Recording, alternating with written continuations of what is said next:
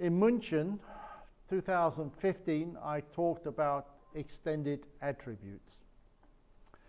Um, since then, I've uh, dug deeper, and maybe I have some new information for you guys. Maybe since then, you have more questions for me. So we're going to have a look at extended attributes. So extended attributes revisited. Who was it 2015? Okay.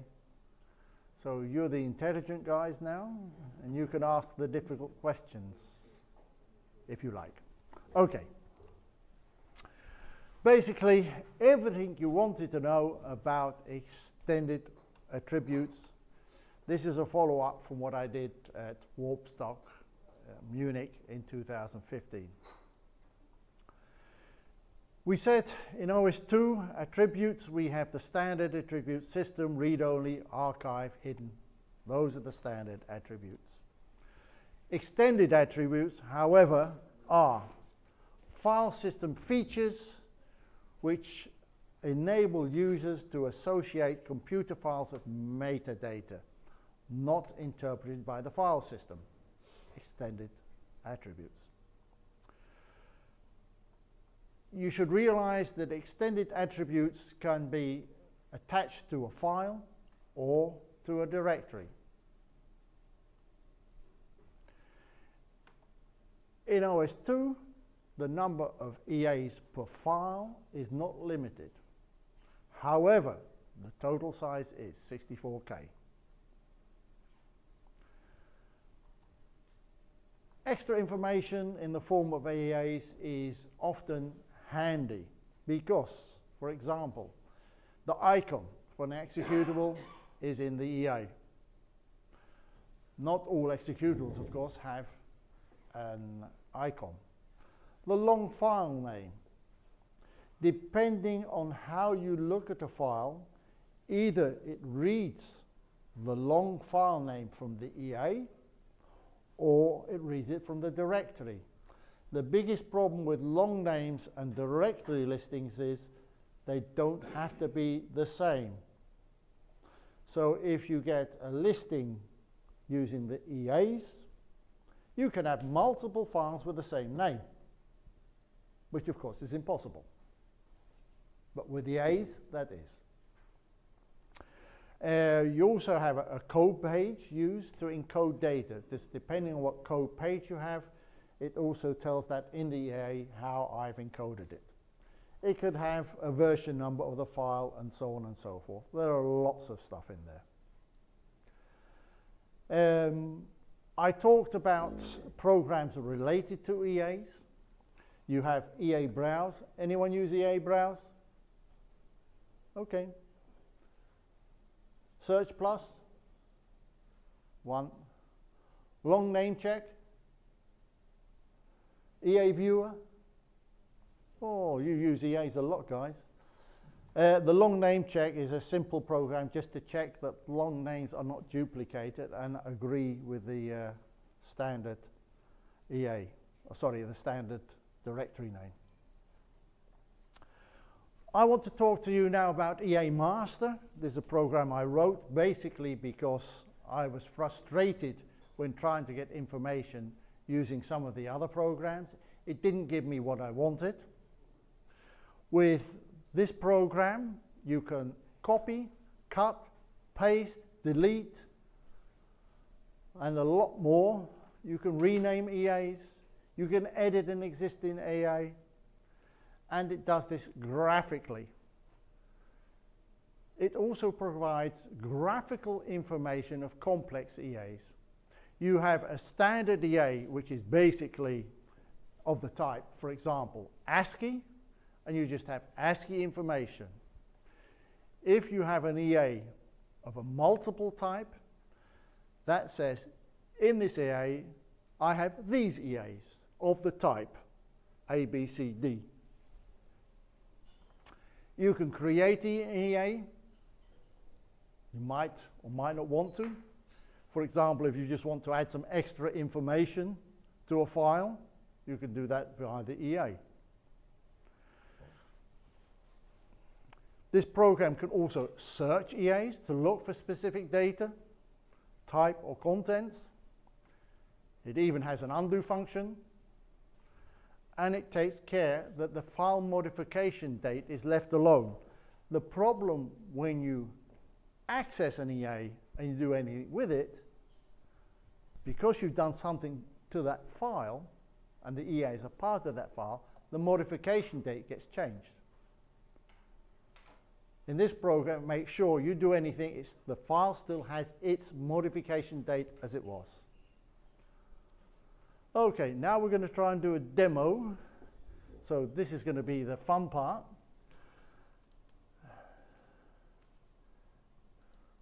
I'm going to do this via VirtualBox.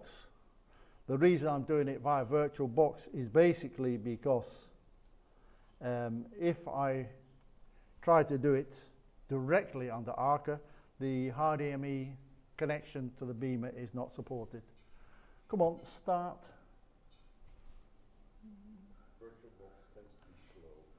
Well, just like me.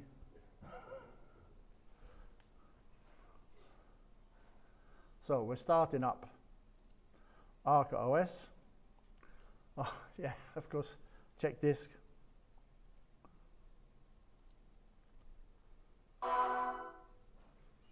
Now we have a little sounds. Sorry about it. I'll try. I'll turn the sound down. Otherwise, we're going to be uh, problems. You'll need a hearing aid. Oh, here is it. Yeah. Uh, okay. Now, the error message is just because it doesn't connect up to my server at home, my NAS. So we'll get rid of that. Okay. EA Master, I will start it up.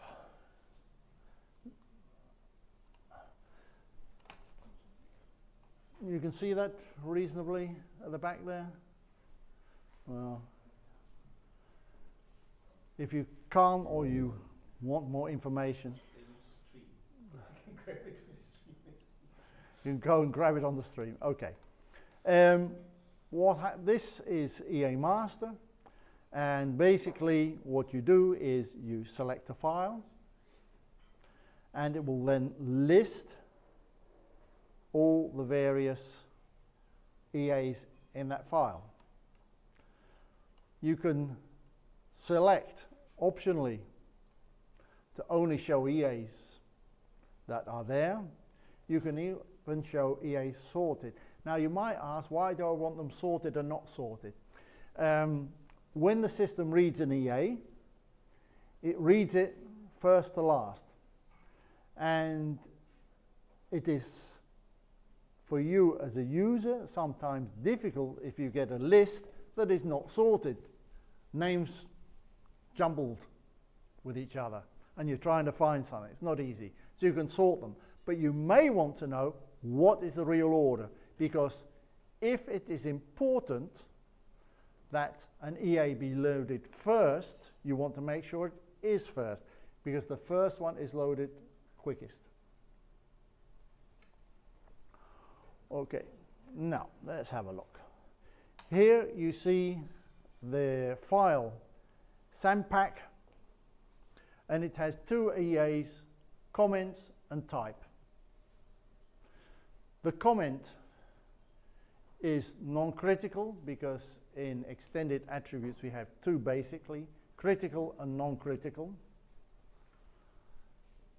And it is an ASCII EA and it has a data length of 75 bytes. What is in that EA? Uh, here you can read it, ASCII and hex. You can switch that off if you wish. You see it lines hex. And basically what is there, this is a toolbar actions file which defines a number of simple commands. So there's information what the file does in fact. You can have a look at type and all it says is it's an exec type. Mainly the type EA will always tell you what type of file it is.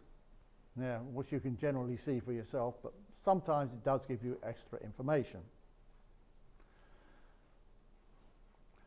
What you do have here is the hex code of this information. You have to be careful with hex code. If it's ASCII, it's left to right. If it is binary, we have the end endian problem that the most significant byte is shown second. So it switches them around. We have the possibility to show a so-called raw mode, and what you then see is more information about this file, and what you see is FDFF. FDFF is in fact the code to say this EA is a um, ASCII EA. So you get different codes here for the different types of EAs. Okay. Um, I said you can do various things. For example, if I click on comments, I can say, well, I want to copy the EA. And I can go to another one which doesn't have anything, and I say paste it. And then I have copied from one EA to the other, which is normally quite difficult. Now we can see the undo is present, so I say undo. And it's gone back to what it was, and it goes back to where you were. Okay, let's have a look. Uh, suppose you want, if we have a look here, what have we got? Okay, um, yeah, here we have dragon.wave and underneath draw.ex. Yeah. Now, as we all know, if you go into a list box and you type D, it goes to it. But what if I do DR? It now goes using the first two characters, or three or four. So it is not limited in the list box for the first character, but you can in fact type more characters after each other to find that particular file. What you also see here, the buttons, directories, I can switch off directories. So you see only the files. Files are shown in blue, by the way. If I do files, you only see directories. So you can have both, or you can limit it to what you will. It can help you find things. Um, let's talk me. At the top here, you see I have C and H as drives available. The colors indicate the type of drive it is.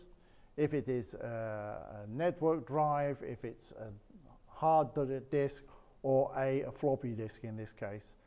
And of course, all this, every system will tell you you've got an A drive, even it doesn't physically exist. Uh, so I could switch immediately to another drive. If I've done anything, it will save the, the list of files I was working on. And if you want, it will always go back to the one you were working on. You can select that. There's an option.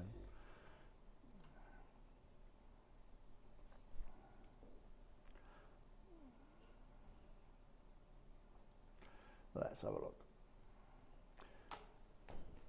Okay, here I've selected this particular directory and this particular file. This file is interesting because it has an ASCII EA, the checksum, and it has an associate table. Now, the ASOC table is always a multi-value, multi-type. What you see, if you look at that, the EA says there are more in this, and this says in this there's an ASCII, ASCII, binary, and an icon in the association. We can select each of them and you see what it says is this is a meta file with the extension MET. This is the binary information, which is practically nothing, and it does contain the icon. This ASOC table is generally available on most files which are executable because they have associations with them. So it tells the system what is associated with this file. Um, let's have a look. Uh, I'm trying to find. Uh,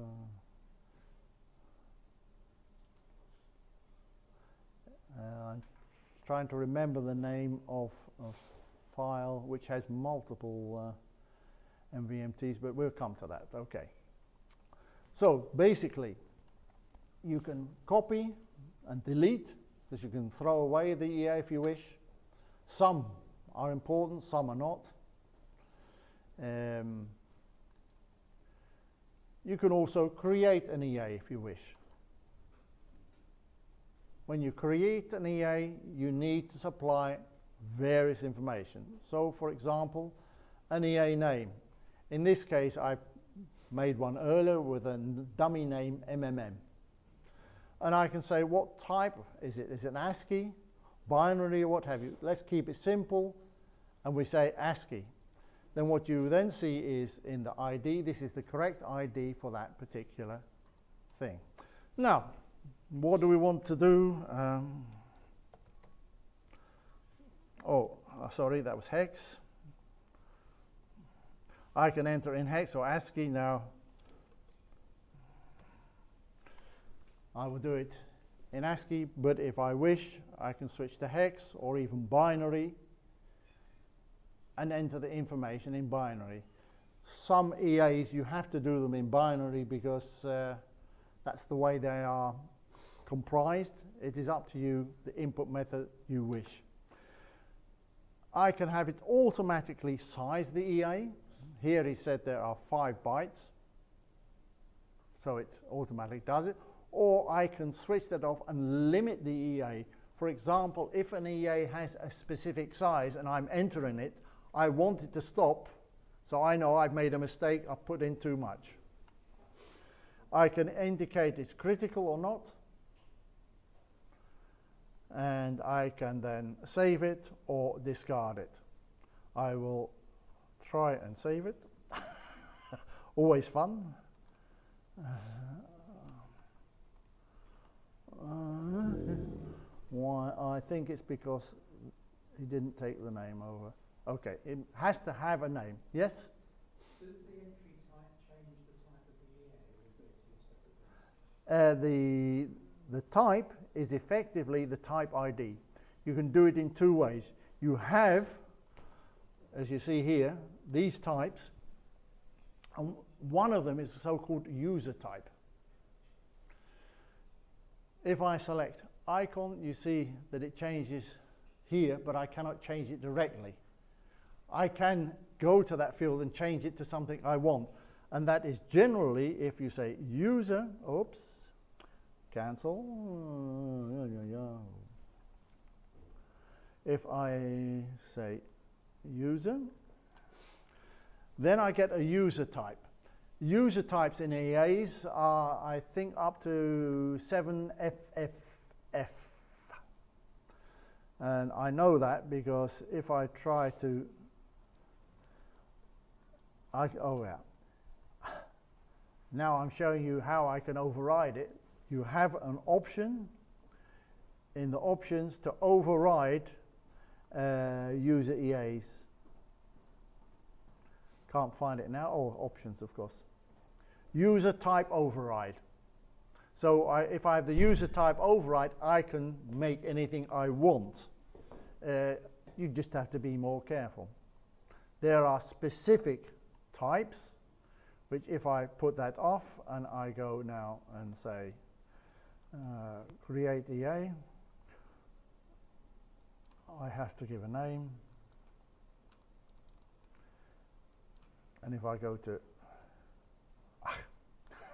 too quick, I want to go to user,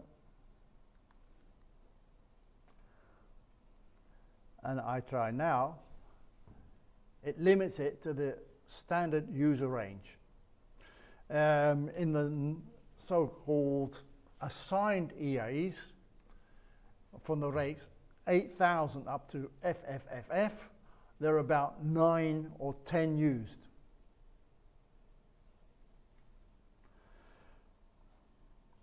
Okay, we go out of this. So here, did I uh, discard? Okay, it's easier to, for example, make the ASCII.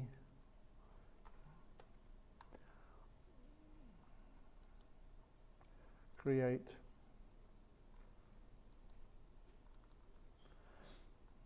Here you have uh, the SEA standard extended attributes. If I click that, then I get the standard attribute names.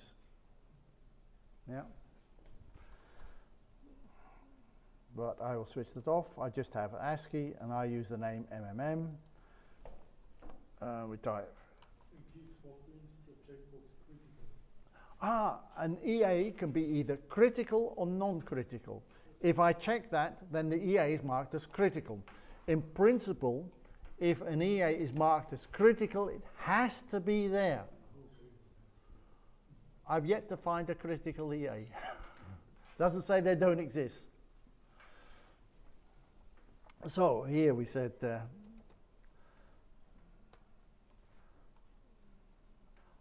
um, if I make a mistake, and when I'm typing hex, for example, uh, let's try it. G is not allowed. So it cross-checks your input.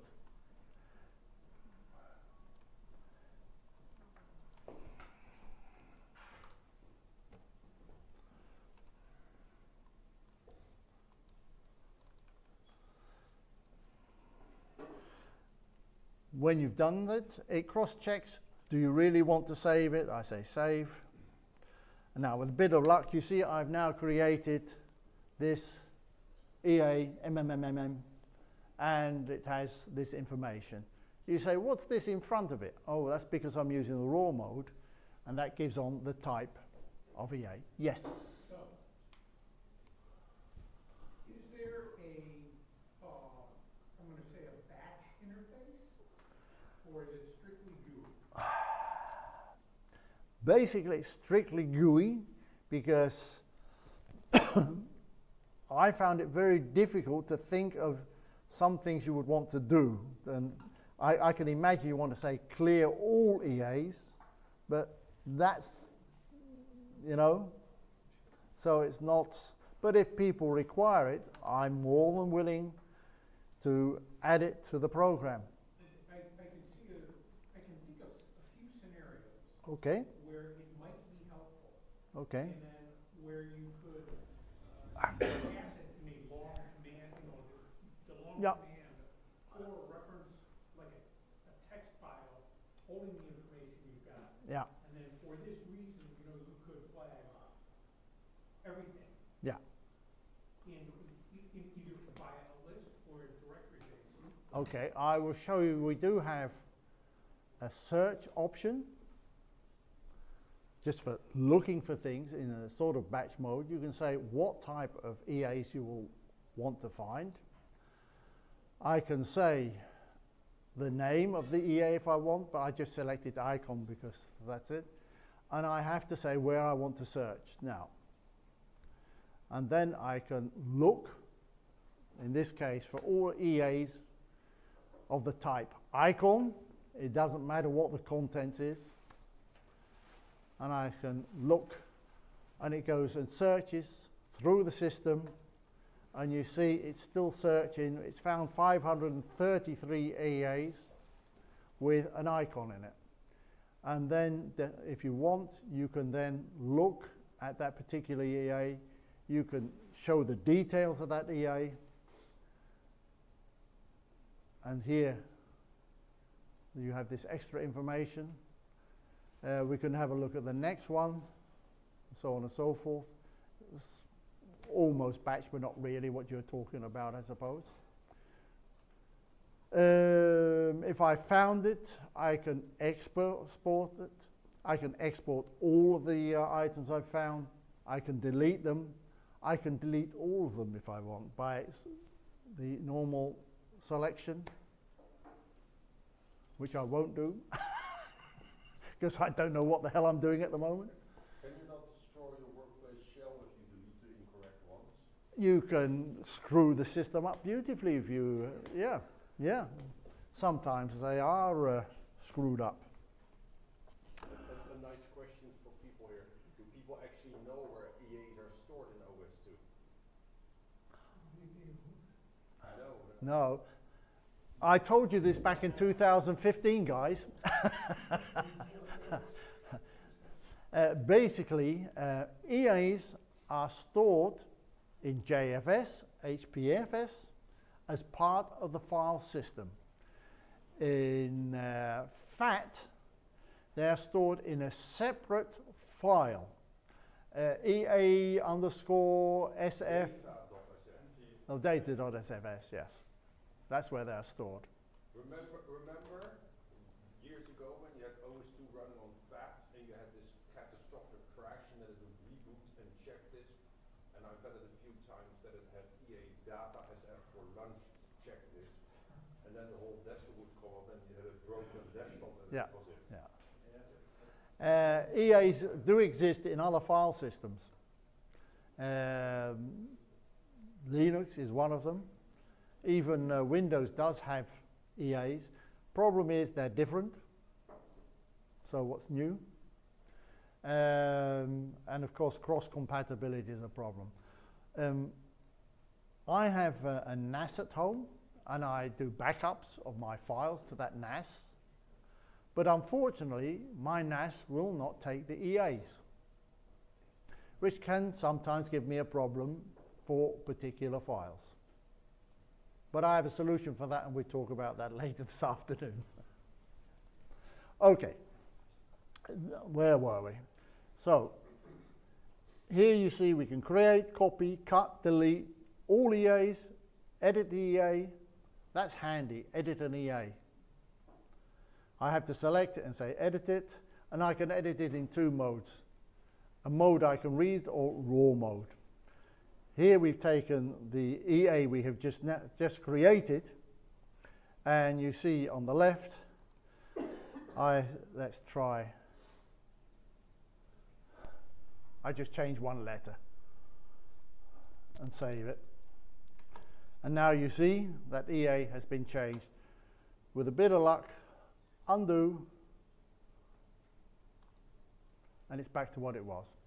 I have a, a multiple uh, undo.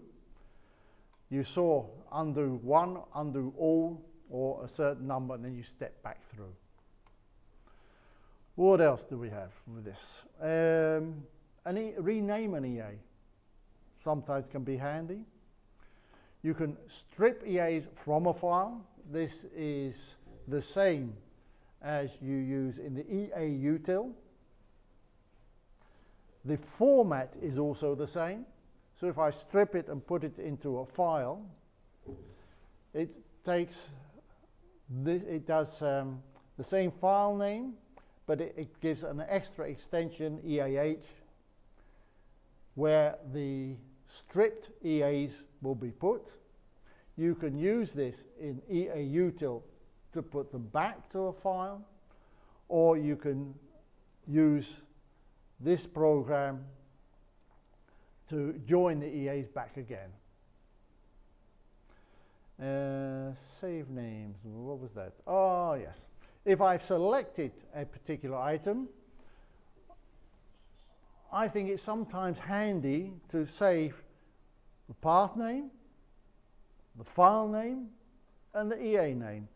And I'm wondering if I, yes, I have here uh, clip view, which you probably know. And if I say OK, with a bit of luck, I should, see. oh yeah, listing, uh, this doesn't seem to be working as I thought it might. But anyway, basically, as I say OK, I should get the path name all the and the file name and the EA name. You can just save them to the clipboard. Not sure what's happening here, but okay. What else? Um, Ha ha ha. Oh yeah, cancel. Um, so you have a lot of options. You can copy a clip, format it, unformatted. You can look in subdirectories or not. You can start in a certain way. You can allow users to override various things like the standard EAs. Uh, you can override MLE auto repositioning because I use MLEs in this. Uh, and there are some other things. Okay, sound.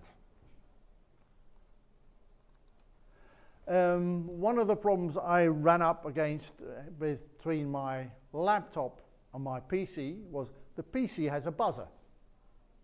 The laptop doesn't. And sometimes you want to be warned that something's happened. So what I did is I added in this program the option to use the buzzer or the multimedia sounds. And in this case, you can test it. I say now sounds. I have the sound very low now.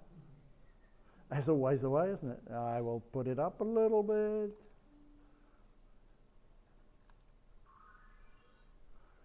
And then in any error, it will use those sounds.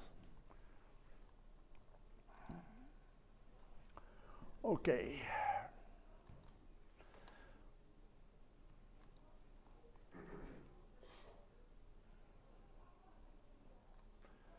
What I would like to show you is what is very complex, and that is if I create an EA that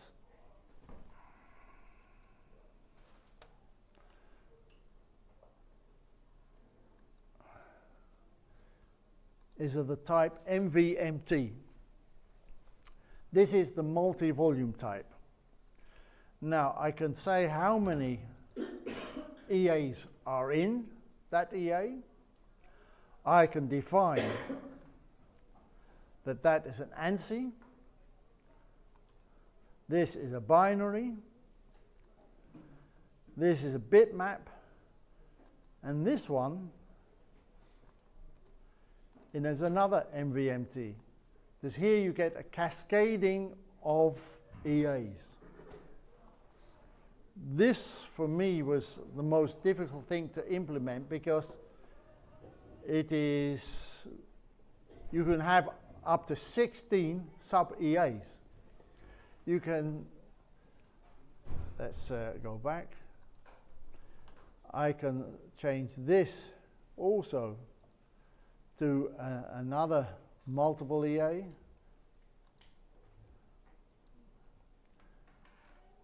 And just with one.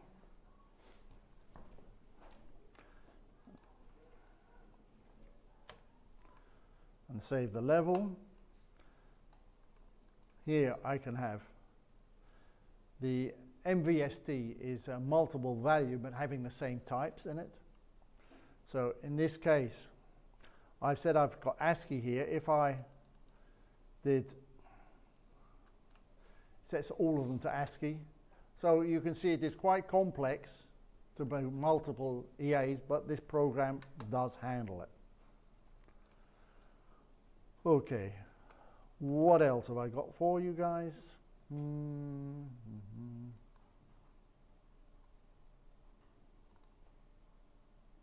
I think basically I've covered most of it, the search we did.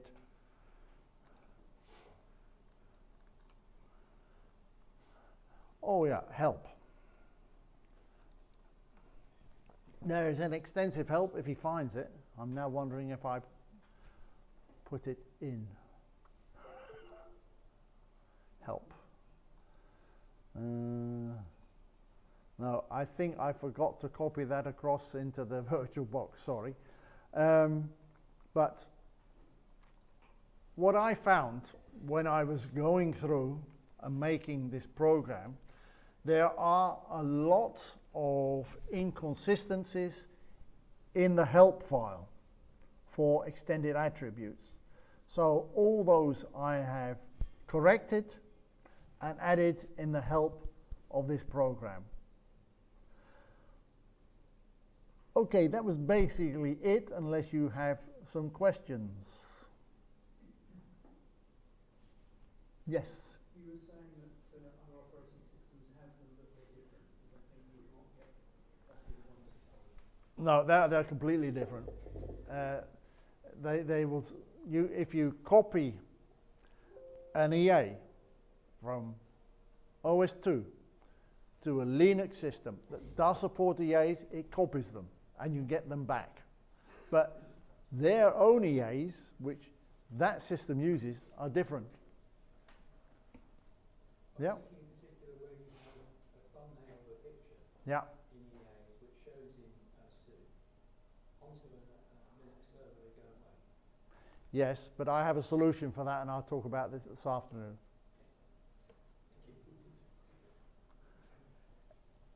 Yes? But the size of an EA per file is limited to 64 kilobytes, right? The number, the total size is 64K. You can have one of 64K or you can have 64K from one, which is useless because you can't even define what for an EA it is. That doesn't mean that, so you can't put a thumbnail in there of a photograph, well, it's gonna be a small one.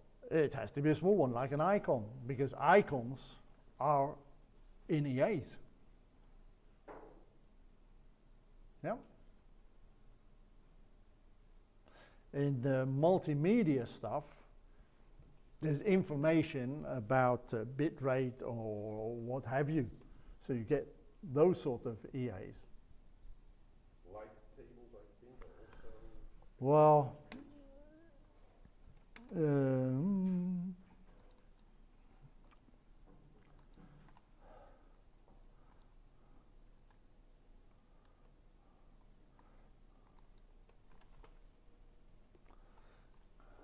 all types of EAs. Start. Oh, I said apps, sorry. I started with apps. I need to go back to the root and start. You see, um, there are a lot of REXX EAs. The literal pool, the variable buffer, that's also in EAs. And the compiled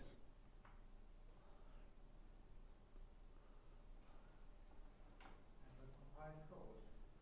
also an Uh, EA. yes, yes, So it can differ from the, what you see. yes. So you see, you, you can see here uh, the files. Here you see the EAs.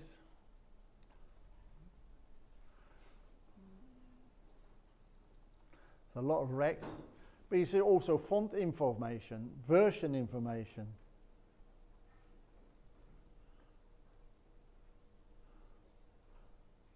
So there's a lot of stuff in there.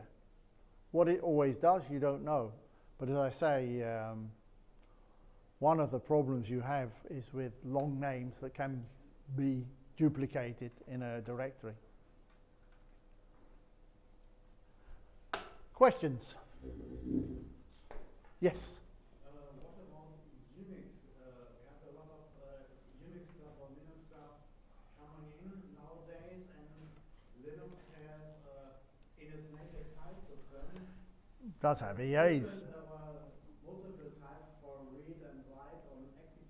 uh, bits. So, Yeah. uh, But that's yeah, but that's not as an EA, yeah. That's that's you in the have.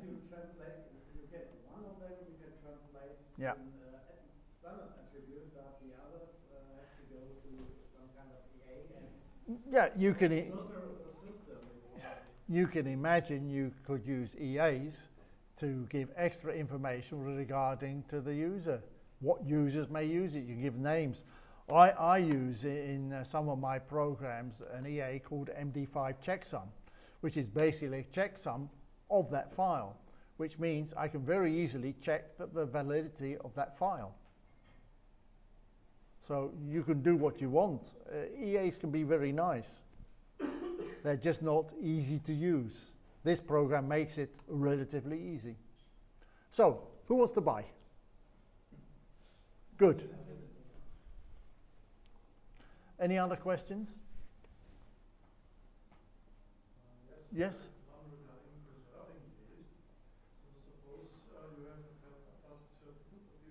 Yeah.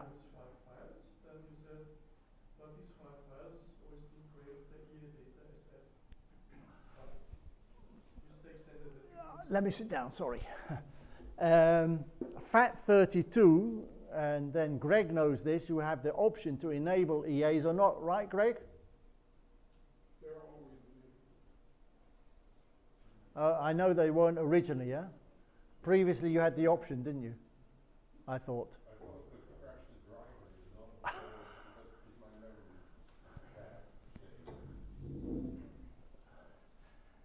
But okay, FAT32 does support EAs. Uh, this system works with FAT32 because the, the interface from the, the API is basically the same. Uh, it is up to the file system where he puts them. As we know in uh, uh, FAT file system, he puts that in the special file. To me, it makes no difference. I ask, get the EA. executables in this single file. Yes. So one of the things you can do with this program is to read those and store them somewhere else. But you can do that also with EA util. This is a little bit easier and it does let you see what's happening and what's there.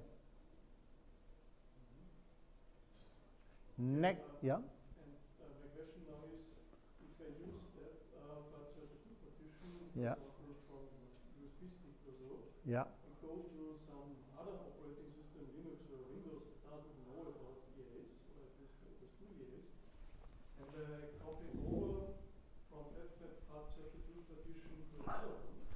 One of these five, and I copy Uh, does OS/2 still be able to read the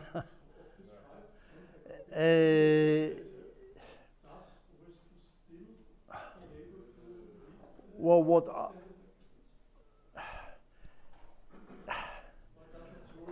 it, it, it, it, this is a question which I can't say it will work or it won't work.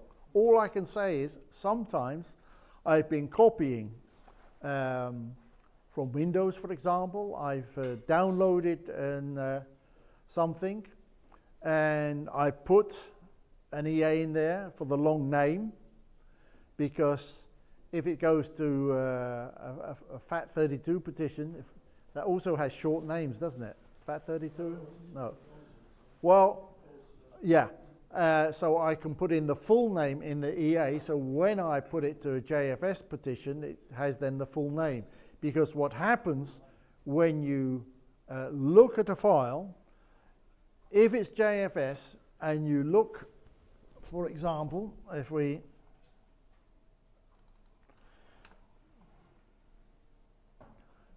Oh, sorry, that's uh, that's Windows. My mistake. That's the problem with uh, uh, we've all done this at some time. Uh, oh no, I didn't want to do that, of course. No, what I wanted to do was to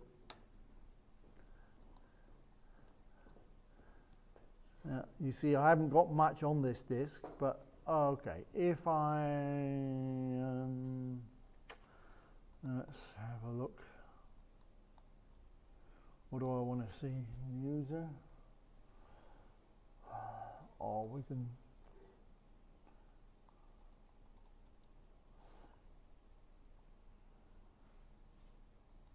Okay, this is a typical uh, folder. And if I go into detail view, what you see here is the title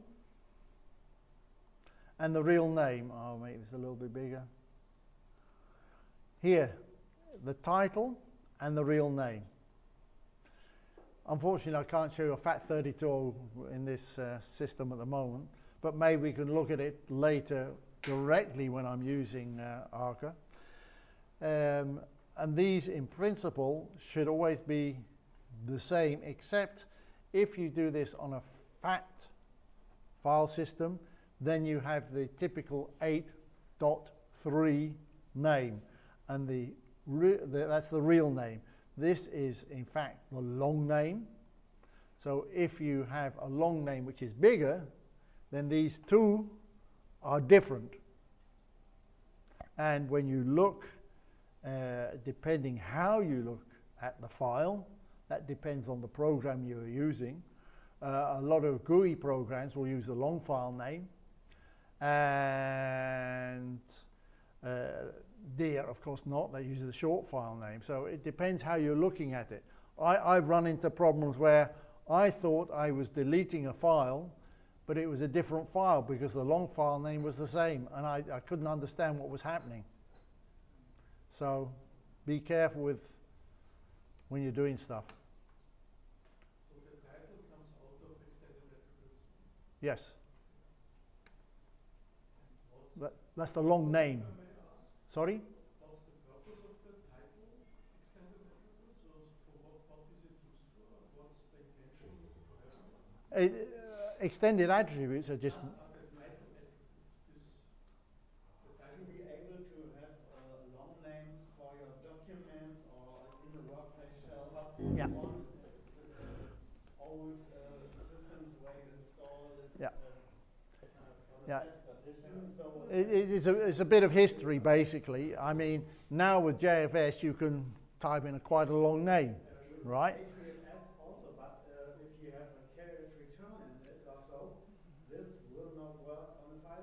No. But it does work. As, yeah, uh, we, The original OS/2 file dialog doesn't show them. uh, It shows Some the- uh, show the the other one way, the some, some show the other way. Uh, for example, here, um, here we have the computer. Yeah, I can change that name. Eh? Simply, and I say, I've got a carriage return in there. Because to me, that looks better than one long line. That is in the long name attribute, extended attribute. Um, let's, we will try.